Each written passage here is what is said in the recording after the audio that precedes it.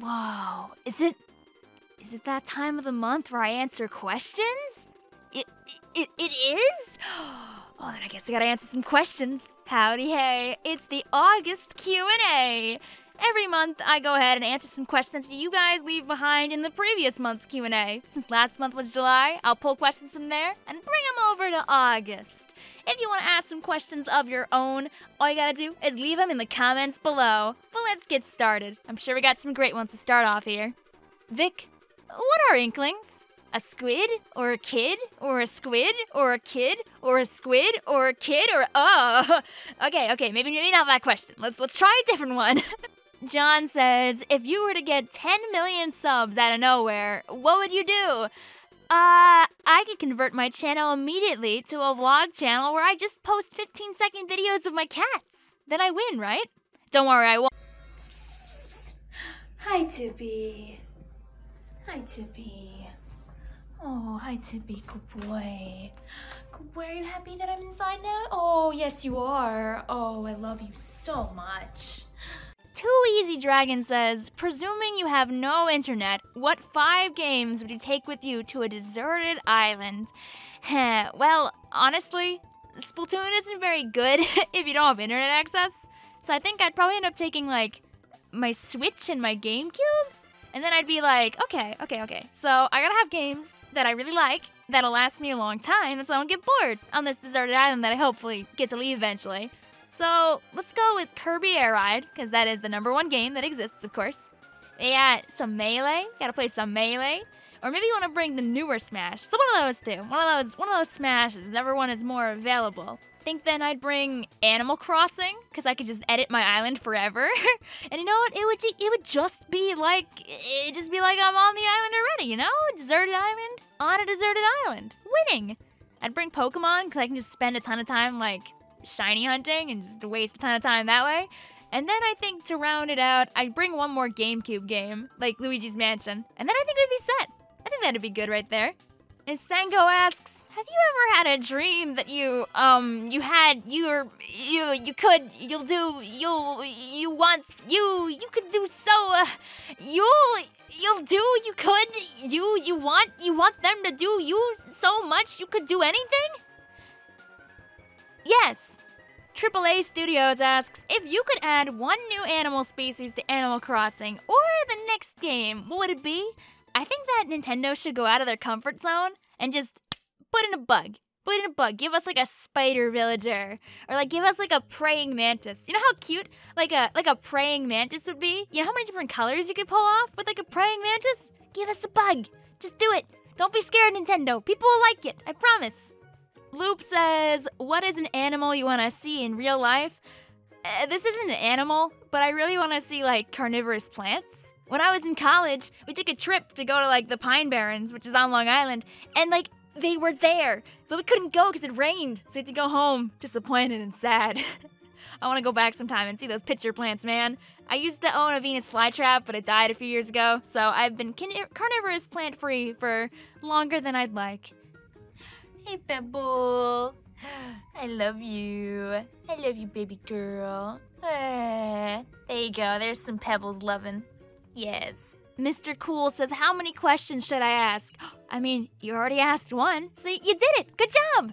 Myth asks, Do you prefer bagel bites or DiGiorno? I've actually never had bagel bites because I'm I'm more of like a bagel person. If I have to choose between bagel bites and a bagel, I'm always gonna pick a bagel. I'll say bagel bites because I feel like they'd probably be better.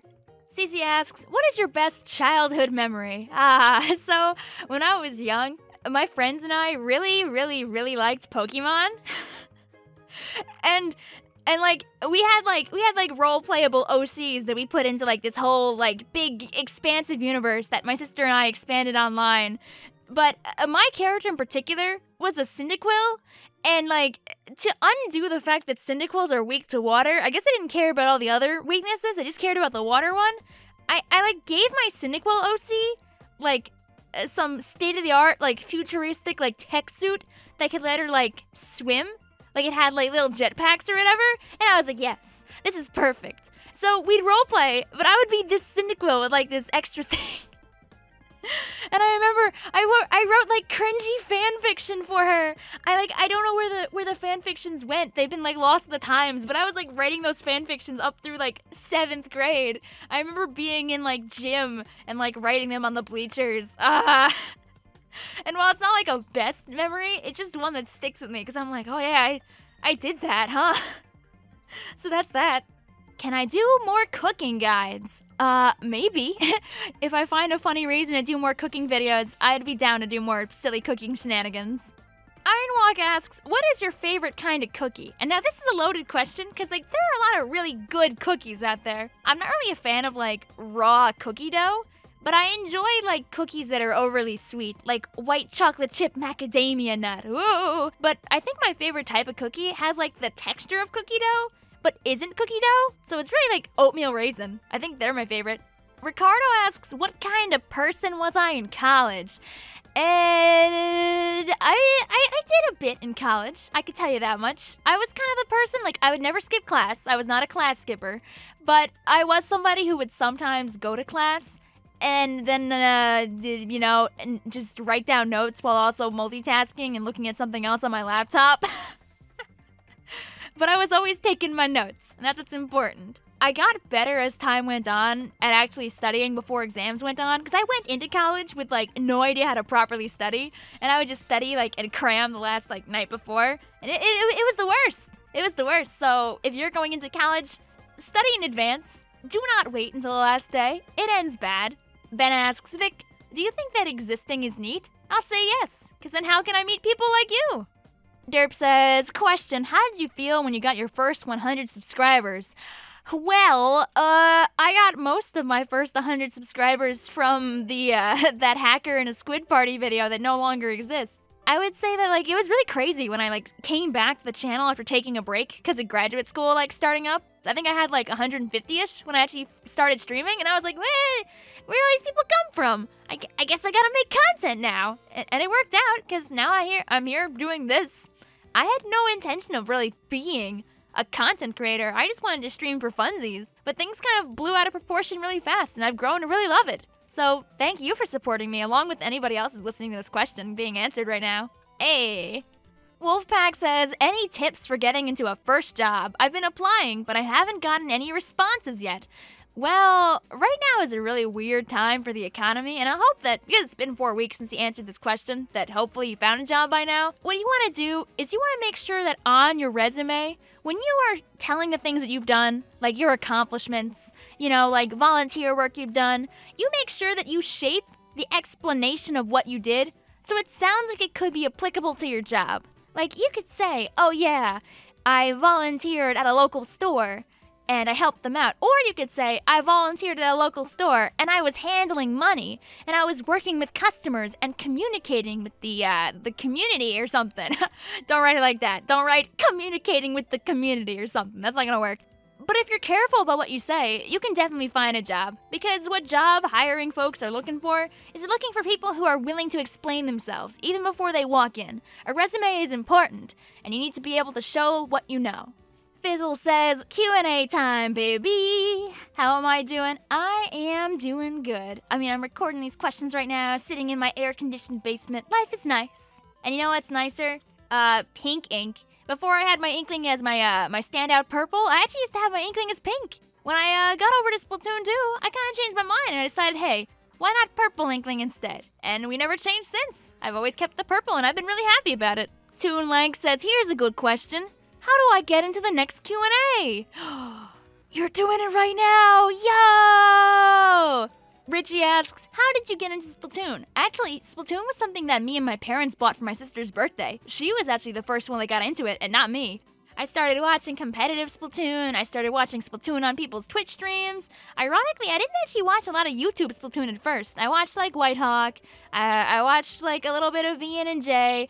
But in reality, I was not on Twitch. I like slowly moved out to YouTube, and it's kind of funny that I became a YouTuber, seeing as I actually preferred Twitch Splatoon first, but both communities are really good places. And I'm really happy that I got a like taste of both before I ended up settling down here. Splatoon has obviously become really important to my life, but it's always just been a thing that I can do instead of having to do schoolwork, instead of having to do things related to my job. It's a great way to release energy, and the community is so great that I'm just happy to be here. Trevor Yan says, What is your favorite close range weapon to use, other than the machine? If we're talking really close range, I really like the 52 gal. The 52 gal is just really good at just sneaking up on people, getting that quick little pop pop, and then getting out of there. It's really fun weapon. Honestly, if you haven't tried the 52, I'd say give it a shot. Or two. Eh. What is my favorite Netflix show? So right now I'm working on getting through Kipo and the Age of the Wonder Beasts, and it's really good. It's a it's like a DreamWorks animation TV show, I believe. It's a cartoon. I haven't watched enough of it yet, which is really sad. But I've watched the first few episodes and it just looks really good. If you're looking for something to watch and you do have Netflix, I would give it a big recommend. JT asks, Have you ever built a Lego set? Honestly, I don't know. Okay, so when I was really young, I had access to Legos. Like I, I like I know I had them. We had like a big like fake fire truck like toy full of like I think I don't know if they were real Legos or off-brand Legos, but we owned them. And like I remember using them. But I can't remember if we ever built anything with them or if they just were in the house or like what we do with them or even like where they are now. I don't even know. Like did we throw them out? Did we donate them? I, I just have zero memory of them. I feel like I need to like ask my family or something. So I'll give you a hard I don't know. But like reading this question when I saw it, I was like, I what? Like it like it like brought back a memory that I forgot about. so maybe. Lego is cool though, and if you enjoy it, have fun. Who do you like more, Judd or Lil Judd? I think I like Judd more. I, I think I just love that he's just a big, like, cute, lazy cat. like, I mean, he's putting in a lot of work, but you go over to the plaza and he's just sleeping there being good. I I like Judd. He's good. He's my favorite. Little Judd's cute, but Judd is cuter. Octo Thing asks, How much has Nintendo shaped your life growing up, or video games in general? Well, uh, a lot of the friends that I still am close to today from school are all people who enjoy video games. So I would say we probably became friends through a shared interest in video games. I know that my closest friend from like early elementary school, we only became friends because we were like, ah, we both like Pokemon. Because, like, Pokemon is just the best. These are the people that, uh, you know, the aforementioned uh, roleplay question that I answered beforehand? Uh, that's the same thing. Same person. Great times. I only found out about Nintendo stuff on accident, and also our parents had an old NES. Our parents kind of picked Pokemon and Nintendo and stuff to be my thing because they saw that we liked that thing early on. They were like, okay, just, just keep pushing that we had the kind of family that were like, oh, you know, if, if, it ain't broke, don't fix it, right? I never owned an Xbox growing up. I didn't even realize that Xbox was like a big thing for a long time. I just wanted more games for my Nintendo GameCube, man. So yeah, Nintendo had full control. I had a, li- a lot of Nintendo, a little bit of PlayStation, and a lot of love for video games. Wet Floor says, question, when's the answer? Right now. Daz says spicy pickles? Uh, no. I actually don't like those. I- I've seen them in the store before. I like, I bought one once, but I really hate spicy food, so I don't know why I thought I'd like it. I didn't. I didn't at all. And a matching question that's asked is, uh, somebody asked about sweet pickles. And you know what? I'm gonna say yes. I say yes to sweet pickles. I love pickle relish. Put it in your burger. Put it on your plate. Eat it with a spoon. Just look the other way so you don't see me doing that, but shh. Scraggy says, for Splatoon 3, if you could add one major feature, what would you add? Honestly, honestly, you mentioned the level creator in the list there, Squaggies, and I'd be so down. Like, could you imagine if people could just make whatever maps they want? Like, you see people, what people do with Smash. If you had a 3D level creator, people would put like tens, hundreds of hours into making stages. I'm sure that none of them would be viable, but they'd be so good. I'd be so down. You kidding me? People would make stages that probably would be like super easy to break, so you could like glitch through the corners and do dumb things. I'd be so down. Like, imagine if like they let you like import like Blender models or something? How crazy people could get with it? It could be so good. I'd be so down for a level creator, I think. Wither asks, Has anything happened in your life that you'll never forget other than the bank incident? So, the bank incident, for those that don't know, is basically a, um, a series of events that I had in a dream that ended up with me being at a Chase Bank where everyone was Inklings. Fun times. But, uh, so, when I was in seventh grade, we went on a trip to Boston.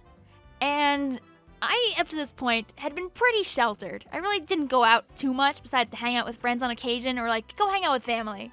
So this is my first time like on my own. My parents gave me money. I had the power to do whatever I wanted. So I spent a majority of the money that my family gave me on candy.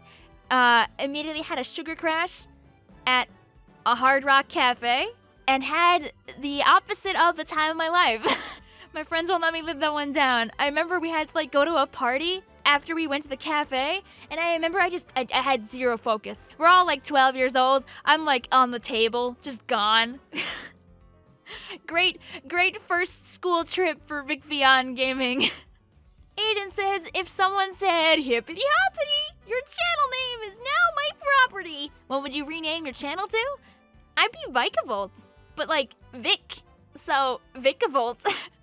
I actually changed my name to Vikavolt for like a week back when my channel was still really, really, really small, but I kind of hated it. so I changed it back pretty fast. But like, it, it, was out there. All I did was take Vikavolt and I put another K in there, and I was like, yep, that's my name now.